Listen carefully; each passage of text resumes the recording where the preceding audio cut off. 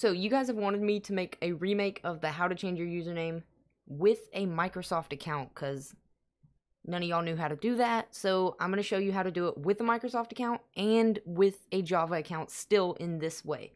It's kind of like an easier way. You know, simple. Just go up here, search Minecraft.net.